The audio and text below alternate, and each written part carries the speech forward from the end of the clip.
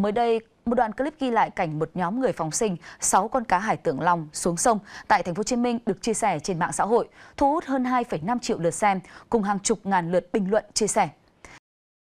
Đại diện Tổng cục Thủy sản, Bộ Nông nghiệp và Phát triển nông thôn cho biết, loài cá được thả phóng sinh là cá hải tượng long, có nguồn gốc từ Nam Mỹ. Cá trưởng thành có khối lượng lớn, tối đa có thể dài tới 3 mét, nặng đến 200 kg, được đánh giá là loài ăn tạp. Thức ăn của chúng chủ yếu là các loài tôm, tép, cua. Đây là loài giới hạn mua bán quốc tế, nếu nuôi mà chưa có giấy phép là vi phạm pháp luật, là nhập lậu. Tổng cục Thủy sản đã có văn bản khuyến cáo các địa phương hướng dẫn người dân phóng sinh những loài bản địa có nguy cơ tuyệt chủng và không nên thả những loài lạ có nguy cơ xâm hại. Theo người đăng tải clip trên mạng xã hội thì hơn 2 tháng trước, trong một lần vô tình anh qua phà đi từ huyện Bình Chánh hướng về Cần Duộc tỉnh Long An đã quay được đoạn clip này. Được biết chủ cá không muốn nuôi nữa nên đã cúng tiến để phóng sinh.